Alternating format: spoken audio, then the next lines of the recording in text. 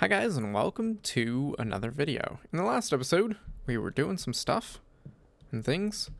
And uh, in this video, we're going to do some more of that. Um, so in the last episode, uh, the, the words, if in the last episode, I was setting this up and it's still going. We're still getting all kinds of stuff. Whoa, lag. Come on now. Oh, really, game? Don't do this to me. My goodness. All right, so if we come over here and we take a look, I made a few more drives just as a precaution because I wasn't sure. Um, we look at uh, die, if I could spell, we have quite a few dies. Um, now, I'm not really going to do anything with these right now. Uh, for now, it's not a big deal. Um, what is kind of cool is that I do have, why is that?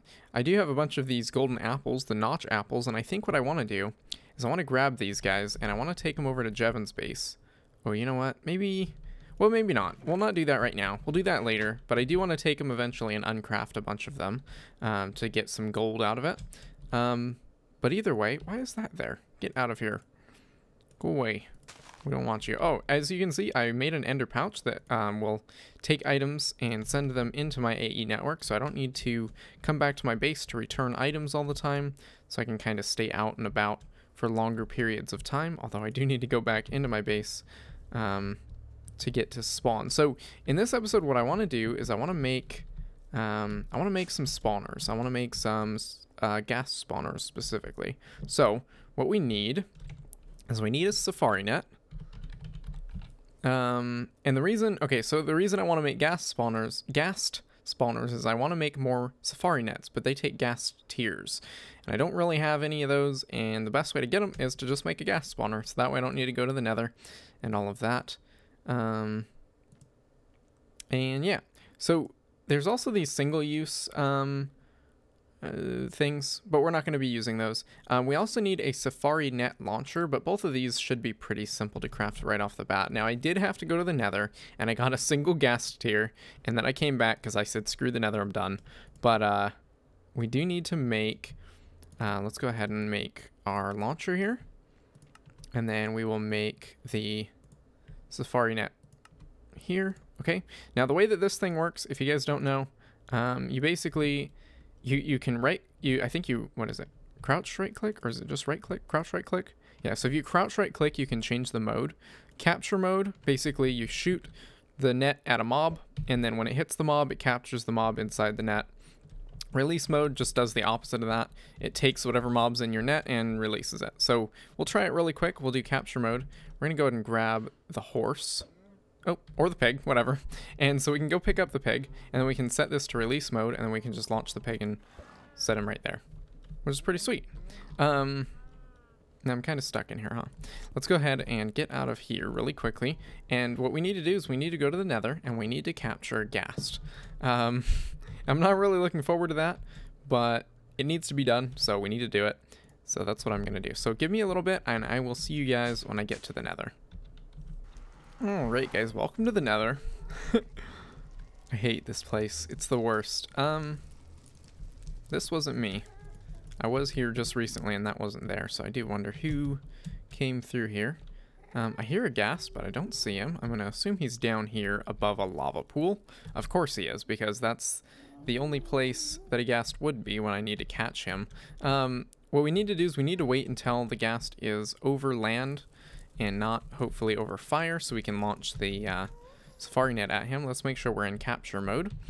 And uh, then we can catch the ghast and uh, yeah. um, there's so much fire down there too. Oh goodness. Hey, how you doing? Nice to meet you too. Can we be friends? um, no, it's cool, Ghast. Just hover right over the lava. That's perfect. That's great. Um, and you know what? I really didn't think about how I'm going to get down there and maybe back up. Let me go ahead and... Felt like I heard a mob. Let me grab some uh, netherrack. Good lord. So fast. Alright. Uh, grab some netherrack. That way we have some building blocks to get back up if we need to build like a tower to get out of here or something. Um, that'll be helpful. And uh, then we're going to go, I think I'm just going to take my hang glider. Let's see.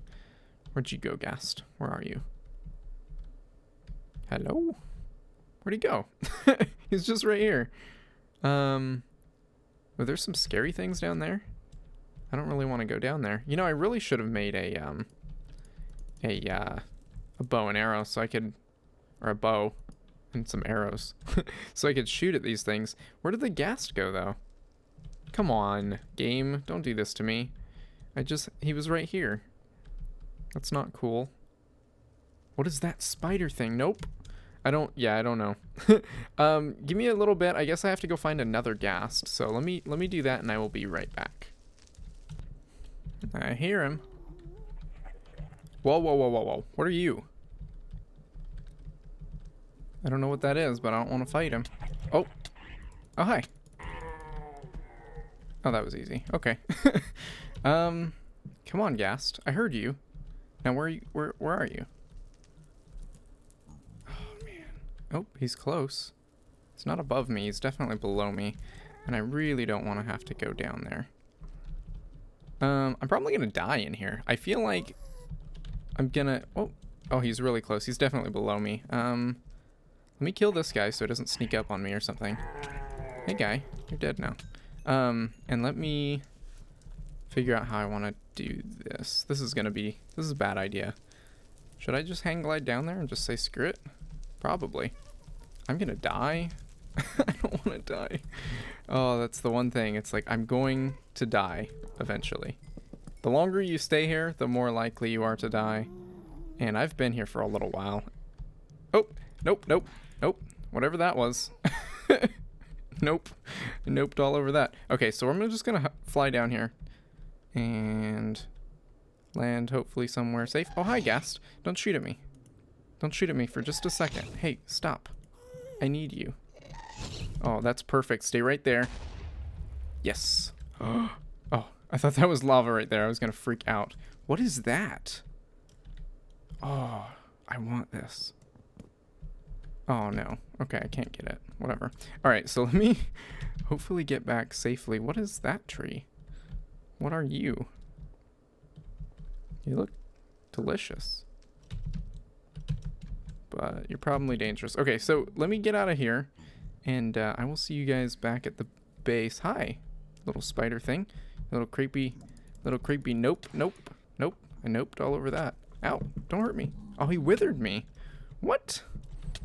Well, that's not cool. All right. Anyway, um, let me get out of here, and I will see you guys back at the base. Alright guys, welcome back. We're here at the base. Um, I do want to go really quickly and drain my experience. Just, uh, just a habit that I have to just keep doing that.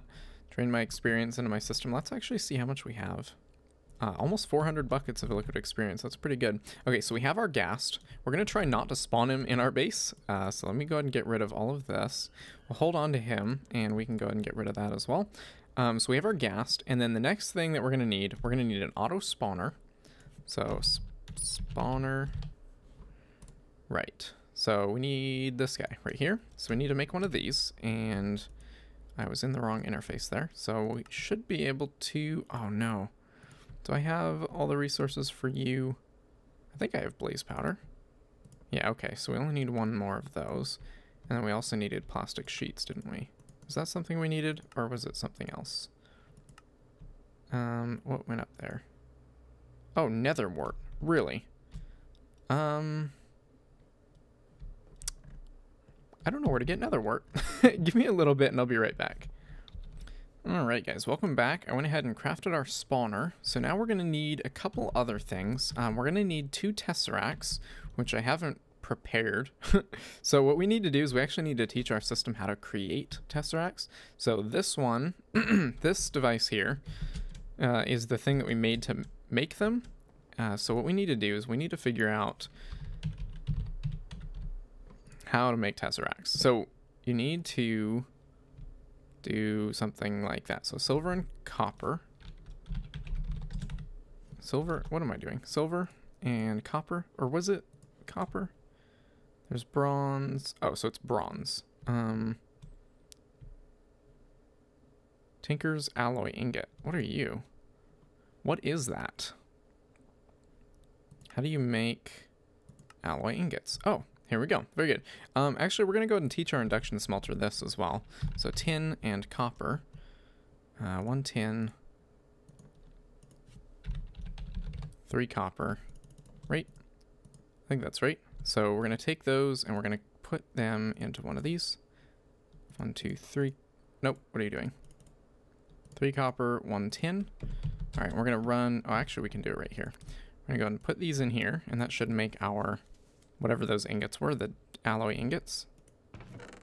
Okay, we're going to, oh, there's where my breaker plus went. So I don't know what happened. I was in here earlier, and I was like, somebody borrowed my breaker plus or something. Um, I guess that's not what happened. Oh, what are you? Get up, get down from there. Um, I guess what happened is I put it there. That doesn't make sense. I don't know why I would have done that, but all right. Sounds like something I'd do though. All right, either way. So we're gonna come in here and we're gonna say, uh, those make that encode. Okay, and then we have, I think, an alloy smelter over here. Maybe, hopefully. Induction smelter, that's what I meant. Um, there we go. So that now knows how to make those. And okay, the next thing that we need to do is we need to make the tesseract frame. Um, let me grab some patterns. I'm gonna, oh, I made patterns already. That's weird. Okay. Um, we're going to teach it this. So we're gonna replace all of these with, nope.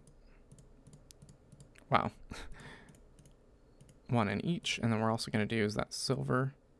Yeah, these are all silver. So we want them to all say silver encode. Okay, now that is a crafting recipe. Now the next thing we need to do is make the tesseract frame and then fill it. So we need Enderium ingots, which are pyrotheum blend. Oh my goodness, this is really complicated. So we need sulfur. That's fine. We need, oh my goodness, what else do we need? This is really complicated and I don't, why, why do they have to make it? We need coal powder or pulverized coal. We also need redstone. So let me see I do have pulverized coal, uh, redstone, and blaze powder, I think it was. Whoops. I can't remember. Uh, yeah, so blaze powder. All right, cool. So actually what we're to do too is we're to take our blaze rod. Is this a pulverizer? No. I have a pulverizer somewhere. Here we go. If we take our blaze rod and throw it in our pulverizer, we get four blaze powder out of it. Okay, so that's what I need to teach this. I need to go clear that. I need to teach it that if you take one blaze rod, you can get four blaze powder encode. Okay, and let's go through that on our pulverizer before I throw it into our system and make it confused. Okay, so we'll throw that right there. Okay, and what else do we need? I think that was it. Okay, so what we're to do is we're to combine the pulverized coal, redstone, what are you? Nope. And blaze powder. Clear that, and that makes our dust. Okay. Uh, now that's a crafting recipe. Both of these are crafting recipes, so we're going to throw those in there. And then the next thing that we need to do is tell it how to make the Enderium ingots, which are um, Enderium blend. Oh my goodness, my brain hurts now a lot. Help. How do I make... Hmm, so tin... Three pulverized tin and one pul platinum. Oh my goodness. Give me a minute. I'll be right back. Alright guys, welcome back. We're over here at spawn at TFC's base, and he actually happens to have a nether wart farm, which is really convenient for us. So I'm just going to grab, I think we'll grab two rows really quick. And that way we'll have plenty of nether wart if we want to start our own farm, and hopefully he won't mind. I'm sure I'm sure these will regrow by the time he needs them anyway, so we're going to go ahead and take these back to our base, and uh, I will be right back. Alright guys, welcome back. I've figured out what I need to do. So first off, I need to take our tin ingot and we need to pulverize it to where we get tin dust. We need to grab it out of here before it smelts. Okay, so we got one pulverized tin. And we also need to do the same thing with our shiny ingot. So we need to put one shiny ingot in there and we'll get shiny dust. Okay. Very good. And then we also need, um, I think that's it. Okay, so that's going to work for those two. So what I can do now, let's go ahead and clear this out. We're to say three tin and one shiny Oh no, wait. This is wrong order. Okay, so we're to say one tin ingot gives you one tin dust encode. Okay, we're also to say one shiny ingot gives you one shiny dust. encode. Okay, now those are to go into our pulverizer. The next thing that we need to do is do three of those, three pulverized tin and one shiny ingot, combined with a bucket of liquid ender, which I'm to fill right here. We're to click on resonant ender like that, okay? We combine that with that, and that gives us our Enderium blend encode. Okay, now this one is a crafting recipe, so we're going to throw this right into here so we don't forget about that. Now, the next thing that we're going to do is we need to teach it how to make the resonant ender bucket. So what I'm going to do is I'm going to say you put one bucket in and you get one bucket of, what the heck, of resonant ender out encode. Okay, now we're going to go ahead and put the recipe for the resonant ender bucket into here. Okay, so our fluid transposer, because if I put a bucket in here, it will fill it with the ender and then put that into our system. So what I need to do is say that the resonant ender bucket goes into there. And then we also need to put these two into our pulverizer. So this is our pulverizer here. So both of those go into there. And now it should know how to make everything required. Um, so what I'm going to do is ender bucket. So I'm going to actually take these and put them back into our system here. So we're not, we don't have any resonant ender aside from what's in our network. Okay, and the last step on that was to take the Oh my goodness. I'm so confused now. All right, we're going to space click all of that so I don't have any of that. We're going to take the Enderium blend. We're actually going to make some Enderium blend really quickly. So it should craft the bucket and all that nonsense. And, oops. And it should eventually make it. I don't know. Pulverized tin. Okay. Right, so it did make four Enderium blend, which is perfect. We need four of that and pi Okay, we also need some of this. So we're going to craft one of those, and it's going to give us two. Um, now, I don't know what you get out of it, so we're going to throw these right through here. We're going to put one of each, and hopefully that'll work. I'm assuming I need more, so we'll do two. Okay, so one of those and two of those gives you how many ingots? Please be four. oh my goodness. This is really complicated. Like, this is more complicated than I want it to be. That's fine. Okay, so what we're going to do is we're going to encode that. So we're going to say two of these and one of those gives you two of those. Encode? No. No, that's not correct. You are incorrect, sir. You need to go away. Okay. Um, two encode. There we go. Very good. Um, clear that out. Now this goes into our whatever this other thing is. Why has it got to be so complicated for? Induction smelter. Very good. Throw that there. And now we should be able to make the tesseract frame. So let's go ahead and make the pattern for the tesseract frame, which is this, which is hardened glass. Surround. Okay, we need hardened glass. So we can just tell this thing to use hardened glass. Oh my goodness, my brain now is on fire. Ow. Help. Why does everything have to be so complicated? Why can't it just be simple? Why can't, why? Why not? Okay, so we're gonna do just like this. And what was in the middle? A diamond? That's simple. Did I already create this recipe? No, I created the filled one. Okay, so we're gonna do that, and that gives us the empty frame. So we're gonna grab, nope, I'm dumb. We're gonna encode that. We're gonna clear that out. Now we're going to go make an empty frame. Oh, wait. What am I doing? We're going to make an empty frame. We're to put this in here. Craft one empty Tesseract frame. And actually, let me put all this stuff in here so it doesn't craft extra. All right.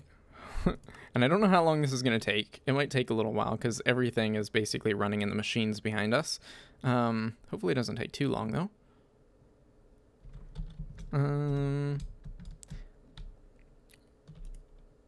Oh, if I was just patient, it would have just worked, but I'm impatient, so. there we go, so we've got our tesseract frame.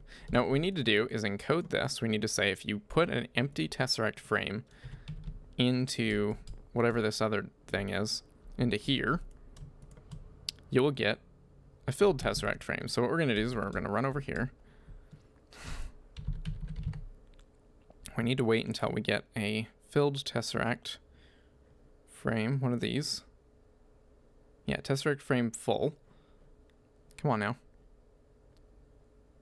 Any day now. oh my goodness. Did you craft? Are you done? It's done. Maybe I'm just impatient again. There it is. All right. Very good. So we're going to say an empty tesseract frame gives you a full one encode. And we're going to take this and we're going to put it onto here. All right. And then it should already know that you take a full one to make a tesseract. So we have no tesseract, we're going to create one. And it made one. Cool. So we need one more tesseract. To make tesseracts useful, you need two of them. So we're going to craft one more. And it's going to have to go through that whole process um, of making everything. So I'm going to go ahead and make a cut here, and I will be right back. Alright guys, welcome back. Now we've got our two Tesseracts. We're going to go ahead and set these down really quickly so I can show you guys how they work. They're pretty simple, but um, I think some people don't know of the new changes, so we're going to grab a wrench. Where did my wrench go? Did I put it in here? I probably did. Yep, I did. Alright, so you can crouch right click them to pick them up, just like you've always been able to. So they both will do that. Um, and you can open them up and they have a pretty similar interface to a lot of the machines. Um, I'm going to go ahead and set them both to owner only really quickly. Okay, so they're owner only. You can type in an ID, uh, like a channel for it to use. I'm going to type channel 1 and I'm going to hit set. So now it's using frequency 1. What I can also do is I can name the frequency so I can say uh, test. So this is a test frequency and it's currently set to that. I can disable the frequency and it won't show up like that. Um, so if I wanted to, I could just click test and click set, right? It's not set to that frequency. It'll change texture to know it so you can know it's working. Um, and then I can disable it again, just like that. Same thing over here. I can actually click on test and set it there. And because I saved it, it's available on both. So now they're both set to the same frequency. Um, you can also see in the tooltip on the top, it's set to receive items, fluid, and energy. You can actually set what it can receive and what it's sending and all that. Um, so let me go ahead and set it to nothing for both. Okay, so it's receiving and sending none. Now, say I wanted to send power from this one to this one. I would send set this one to send power, okay? And then I would set this one to receive power. So you can see it says send energy, receive energy. Uh, pretty simple. Same thing for liquids and items. Now, what I plan to use this for Actually, you know what? I might as well just pick them both up. Um, I want to head down... Oh, see, now I don't know where I want to put this thing. Let's head down here really quickly. Um, I was thinking of putting it at the bottom of this pit, but I don't know what the spawn distance on ghasts is. Um, I know it's larger than most mobs, so maybe I shouldn't, maybe I won't have to worry about that. Um, but I don't, I don't know. Let me, Give me a little bit. I'm going to think about this and I will be right back. All right, I decided I'm going to go ahead and put it at the bottom of the pit here, so we're not going to worry too much about that. What we're going to do now is we're going to make some wireless redstone. Um, stuff. Is it wireless? Maybe it's wireless redstone with no space. Wireless? What is it then? What are you? WR-CBE. Well, that's just great. Okay, so we're to make some... Oh, that's more complicated than I remember. What are all these? Oh, I guess these are the only things I'm worried about. So we need a wireless receiver, which is an obsidian stick, a receiver dish. Oh my goodness. Oh yeah, it is complicated. I remember. I remember now. There's all kinds of recipes. Um, unfortunately, I'm actually out of patterns for this thing, so I'm gonna have to craft these all manually. So let me just go ahead and get these two things crafted, and I'll be right back. Alright guys, welcome back. I went ahead and made the wireless transmitter and receiver. Um, and I'm looking for, I guess I'm going to put it right here. Okay, we're going to put it right there because I placed it there and that's where it's at. Uh, we're going to grab this screwdriver. I don't know if it's a screwdriver that rotates these. Perhaps not. Maybe... Oh, you know what? Maybe my wrench will work. That would have been something to try. Yo. All right, um, crouch right click. Ah, okay. So we're gonna go ahead and set it like that, and we're gonna put a lever on the top there. You can see that'll send a signal. What we're gonna do is we're gonna go and set up our own frequency. We're gonna set 1,111. Um, so we're gonna set this, and we're gonna save the name as. What do we want to save the name as? Um, gas spawner.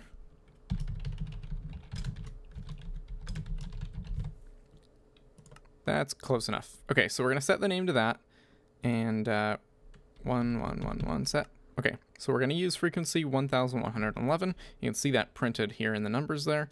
Um, and then the other thing we can do is we can set this over here. Uh, right click on it and set that. Was it double click? Okay, and then that'll be set to the same frequency. So these things will send and receive on that frequency. So now I've got my wireless redstone and I can go put this down there to control the actual auto spawner. Now the next thing that I need to do is I need to set up my Tesseract to send and receive power um, on the correct interface. Okay, now I don't know how to connect my power. How do I want to do this? We're going to go down here really quickly. I've got so many power lines running everywhere.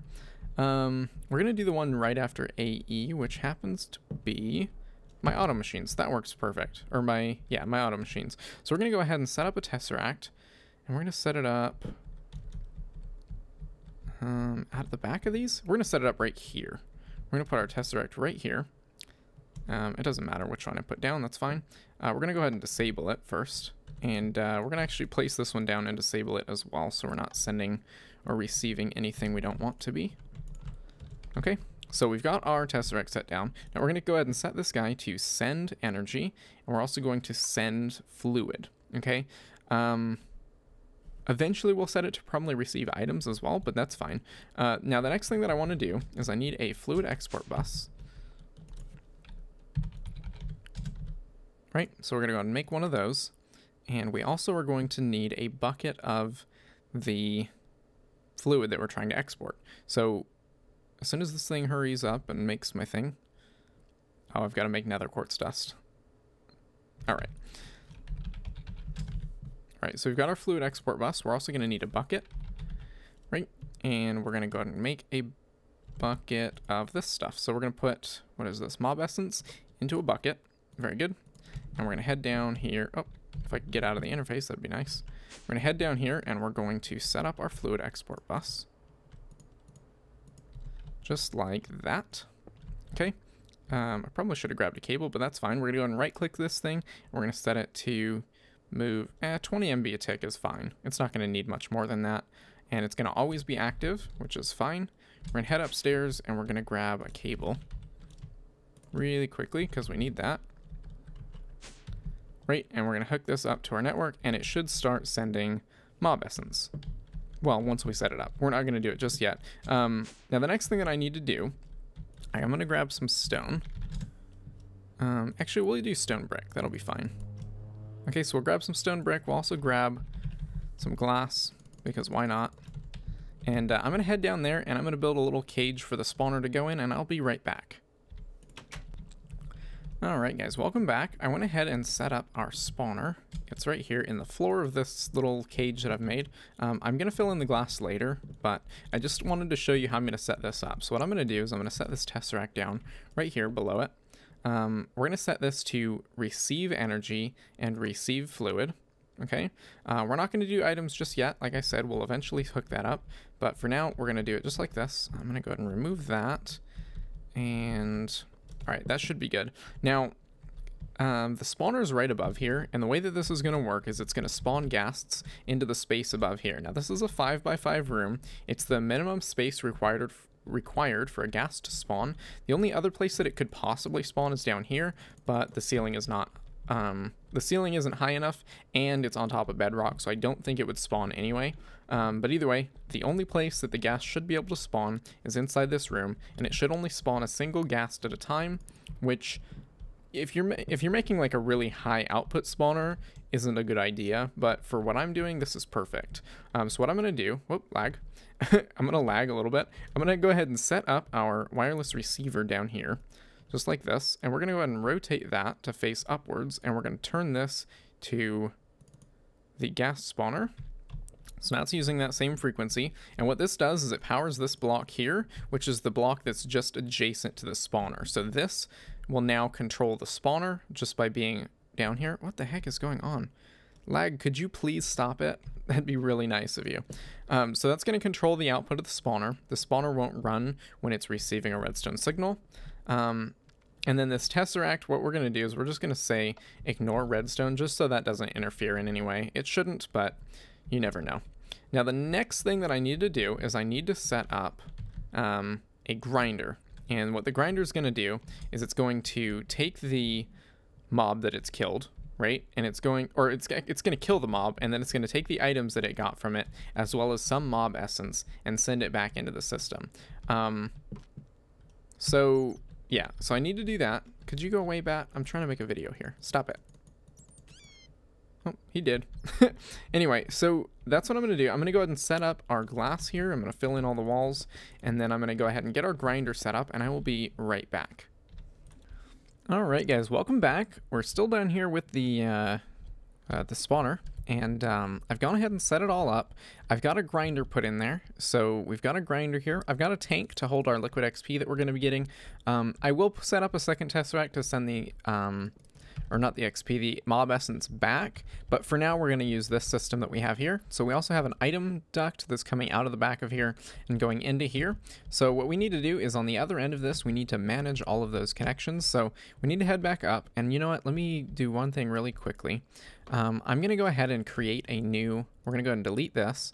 We're going to create a new thing and we're going to call this, um, what, ghast spawner? That sounds good. Oh, spawner. Okay, and we're to set this to ID 9. So we're to go ahead and save that. We're not to set it up just yet. We're to head upstairs. Um, oh, you know what? I didn't set up. We're to set up also the item sending. So we're to send uh, items, we're going to receive fluid, and we're going to receive energy. So we're going to head to the top, and I'm going to set up the opposite thing on the other end, so I'll be right back. Alright guys, welcome back. I went ahead and set this up here. So we've got the items set to receive only. We're sending fluid and we're sending energy. Um, and then our items are going to be pumped into this interface. So they'll be sent into our AE network. And then if we go down, oh, I need to set up elevators going down. Um, if we go down here, um, I went ahead and turned on the levers so we're not going to instantly spawn ghasts. Um, whoop. Oh my goodness. That was really dangerous.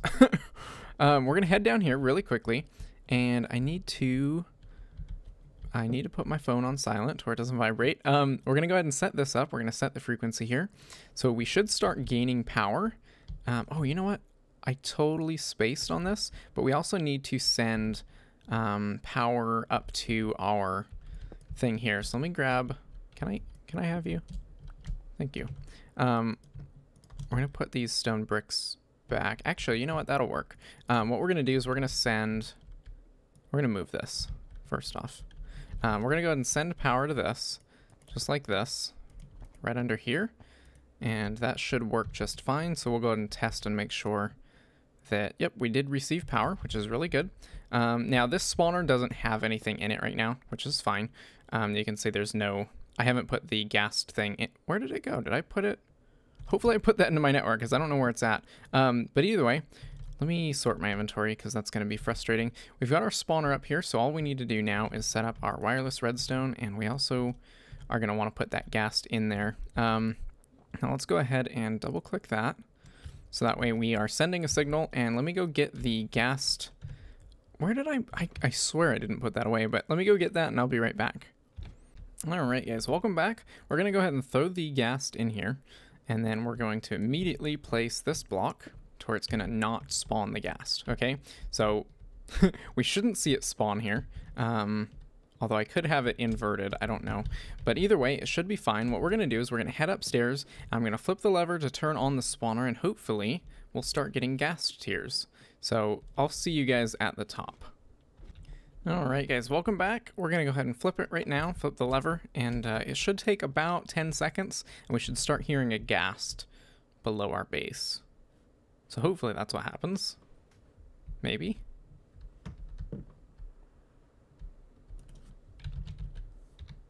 Hmm. I don't know. Maybe I'm wrong. Maybe I did something wrong. I probably did something wrong. That's probably exactly what happened. We're to head down here really quick and just take a look. Because... Oh, that was close. Okay. Um... Yeah, we should see a ghast in here, so let's take a look. Poke. What's going on here? Your idle is not going... For why? Oh, you know what? It didn't receive any of the fluid. Receive fluid. Disabled redstone. Hmm, we're not getting any of the mob essence, so let me take a look and see if I can figure out why. Alright guys, welcome back. It took quite a bit of like messing around to get this to actually work, but it turns out you can pump the fluid into these golden pipes, which then which can then connect to the fluid ducts, which can then oh you can hear the ghast just spawn. Okay, so so that's working. Um, now actually now that that's been killed, we should shortly see the mob drops end up in here. Now if they don't show up, then we have a problem. So I'm not going to connect this to the system just yet. We're going to wait a little bit, but you can hear the ghast spawning.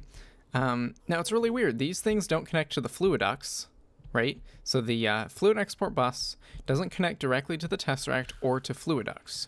Now, the golden pipe doesn't connect to the Tesseract, but it does connect to the fluid export bus and the fluid ducts. So you have to do like this setup in order to get it to go in there, which is really odd. Now I could probably use a tank, like a portable tank on the top of it, and then export down into the Tesseract and export into the tank using one of these, but that's just too much. So I decided to do this, and this works well. Um, we'll go, yep, we'll go ahead and see we have some ghast tears and some gunpowder, so I'm to go ahead and connect this up right here. And uh, we should go ahead and suck those right into our system, and we should be good to go on that. Um, now we can probably look in here and see that we're losing mob essence, although it's not going to be noticeable right away. Um, so what I'm going to do is I'm going to um, let that run for a little bit. I'll turn it off after I have about 20 ghast tears, and then we'll leave it off because we don't really need more than 20 ghast tears. Um, but I am going to go down and show you guys exactly what's going on with the ghast spawner so you guys can see what's up with that. Um, it sh should be pretty self-explanatory. You guys should know exactly what's going on, but just in case, um, we'll take a look here. We'll stand right on top of it. And uh, you can see the ghast spawns right in there. And actually, I could probably lower the ceiling by one block by the looks of this. But the ghast spawns in there, and then he gets killed, and then a new one spawns, and then he gets killed. Um, so yeah, that should make sense to you. Um, now, the one thing I wasn't sure of, and it looks like is not working, is this tank is not actually filling with mob essence. So what I'm going to do is I'm just going to take a lever and plop it on the bottom here. So it'll power that output and that should, there you go. You see our mob essence coming here. Now eventually um, this is going to fill up and I will have to add a second Tesseract in order to send this back into our network. But for now this should work just fine. Um, and this ghast shouldn't be able to shoot me. Even though there's like gaps here, these still count as like uh, glass blocks. So if you consider them glass blocks, you can see that the ghast can't really... He can see me, he knows where I'm at, but he won't shoot at me because there's a solid block in the way. So pretty cool that I have this set up. I'm pretty excited to have ghast tears now. Um, one of the things that I need them for, or basically the reason I made this, is so I can make more of the um, safari nets that, that I can then use to... What is up with the lighting? That's so weird. Anyway, so I can make the safari nets, which I can then use to make more mob farms. Now, the next couple of mob farms that we need, um, we definitely need an enderman farm, uh, so we can get ender pearls, whoop, and we need a blaze farm so we can get blaze rods. Uh, the reason we need blaze rods is we need to be able to make that pyreth, pyroth, pyrethi, whatever that stuff is, the red, the, the red lava stuff. uh, we need to make some of that because we need that to make our Enderium blend, and then we also need the ender pearls for just about everything. Um, so those are going to be the next two farms that I make, and I may make them off camera. Um, I'm not sure, but I do think that that's going to be about the end of this episode. So I do want to thank you guys for watching. If you enjoyed the episode, go ahead and leave a rating. And until next time, I will see you guys later.